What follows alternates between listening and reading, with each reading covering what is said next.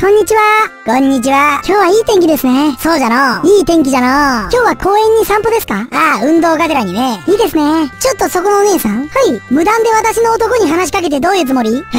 誘ってんのか？いや、老夫婦なのにまだそういう感じな。この年だって普通そんなん気にせえへんやろ。あんたもあんたでどういうつもりよ。若い女に話しかけられて鼻伸ばしちゃって。すまん。ついつい、この女に色目を使われて。いや、使ってない使ってない。でも、お前には悪いけど、もう決めたんじゃ。この若い女と人生を共にすると。いや、勝手に話進めんなよ